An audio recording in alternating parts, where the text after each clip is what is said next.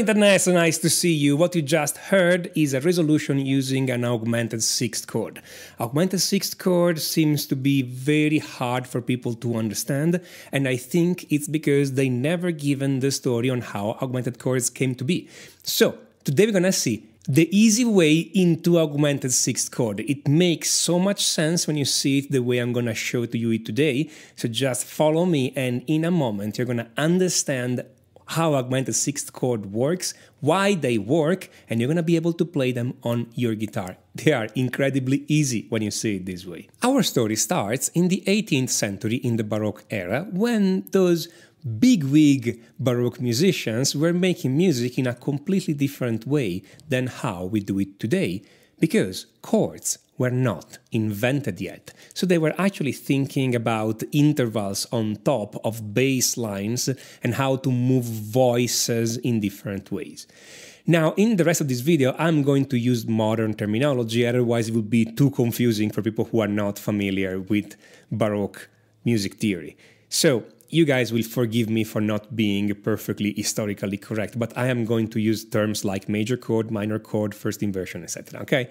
Now, one of the bass lines that those Baroque musicians wanted to harmonize was a descending bass line starting from the first note of the key and going down to the fifth note of the key. So, in A minor, that will be A, G, F, So the first note of the key in A minor, then the seventh, the sixth, and the fifth. On the first note, they will simply play an A minor chord. After all, it is the key of A minor.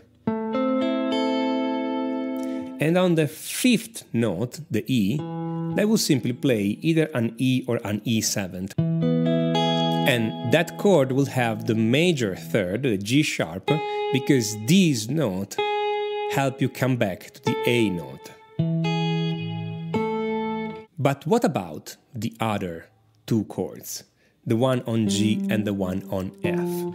Well, the intuition of the Baroque musician was that if you were playing what we call today a root position chord over a note, you will make it solid and stable. But if you wanted that chord to give some sense of movement, they will play what today we call a first inversion chord. So on this G note, mm. they will play what we would call today an E minor chord in first inversion, the notes being E, G, and B, and the G at the base. And that will give some sense of movement because you can tell that the chord progression doesn't end here. It wants it still wants to move. So this first inversion chord will want to go somewhere. Now, of course, they wouldn't call this a first inversion chord. They would call it a chord of the sixth. Because there would be an interval of a sixth between this G note and the E note. Now you will guess why they don't call this a chord of the 6-3 because there's an interval of a 6, eh? sure, but there's also an interval of a third between the G and the B note. Well, because in their mind, whenever there is a third or a fifth, it's just understood. And if you have a sixth, the sixth will cancel out the fifth. It's all very complex if you want to go into that, but trust me here, they will call this a chord of the sixth. So they will have a root position chord on the A, a chord of the sixth, which is just a first inversion chord on the G, another chord of the sixth on the F, so in this case a D minor with a bass of F, and then I will play the E and back to the A. Now, what I just played sounded perfectly okay to your ear. Let me play it again.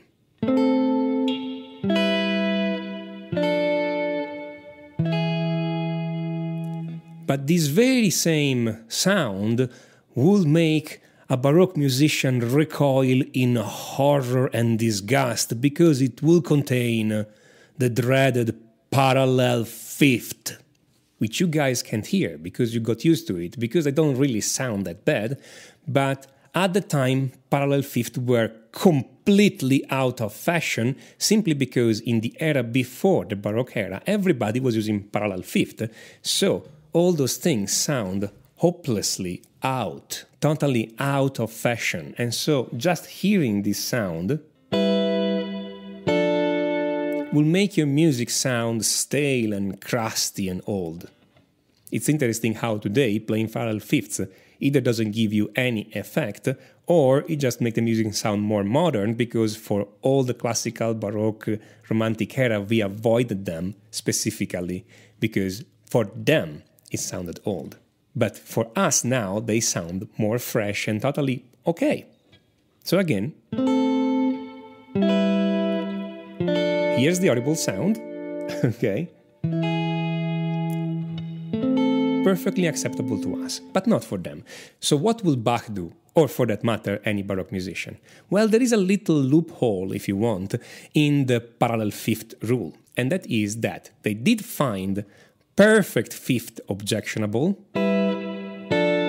But if the second fifth is not perfect, so it's a diminished fifth, then it will sound perfectly fine to their ears.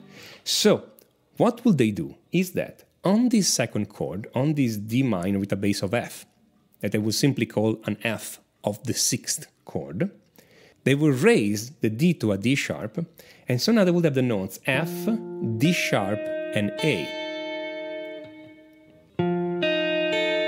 Which works perfectly because now this D sharp is really close to the E note in the next chord, and so it feels like resolving there.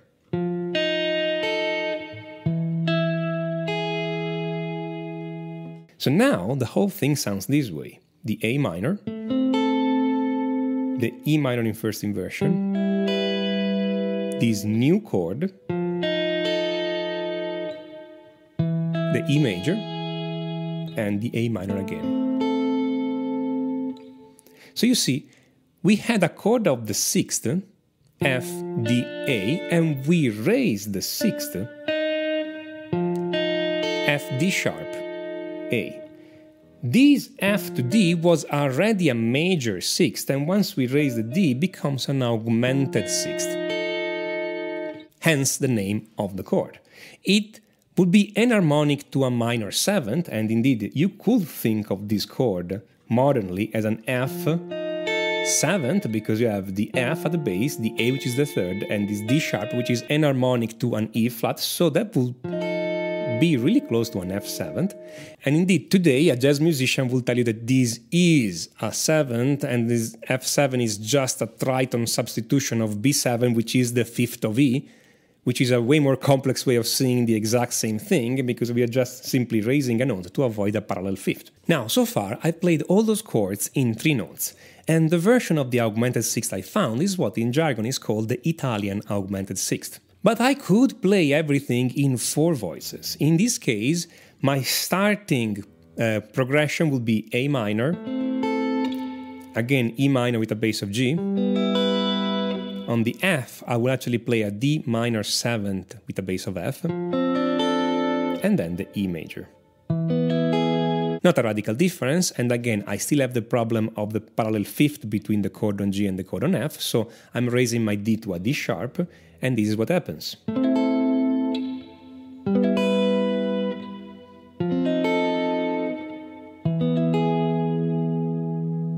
This version is called the German augmented sixth. It's just the Italian augmented sixth with an extra note, which is the perfect fifth over the bass, so really not that much more complex, but yeah, we like to give a lot of names to those things, so this is not the only possible version though, because I can do something even different than that. So again, as a starting chord progression, I could play this A minor, again E minor over G, and I could play this strange thing here. Again, this sounds okay to our ears, there's still a parallel fifth inside, but what is this mystery chord here?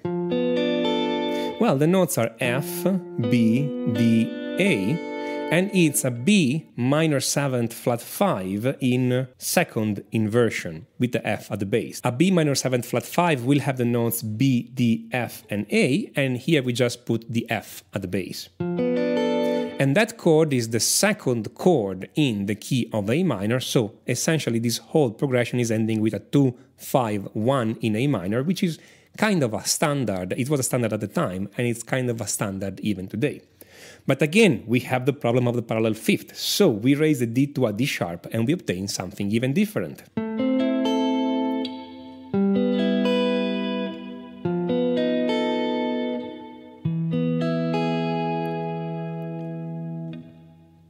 That is what we call a French augmented sixth. Again, just a simple variation of the whole thing. So you see, the augmented sixth chord came to be simply as a dirty trick to avoid the sound of parallel fifths. And then people started liking them and using them more and more, and even today we use them quite a lot. They're maybe not as common as they were in the Baroque era or in the classical era, but we still use them very commonly. And indeed, most of the time that we use them, we say that they are tritone substitution of something else, because at the end of the day, they're exactly the same note. You can think of them as another chord where you raise the sixth, or you can think of them as being tritone substitutions of other chords. Everything works perfectly at the end of the day. They are exactly the same thing.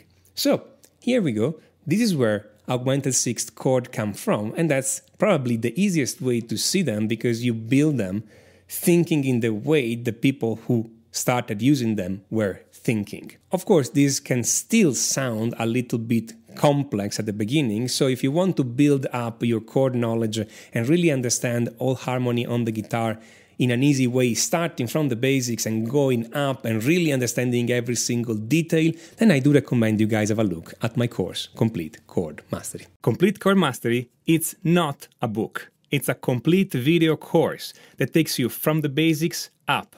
We do everything you need to know about harmony and chords on your guitar.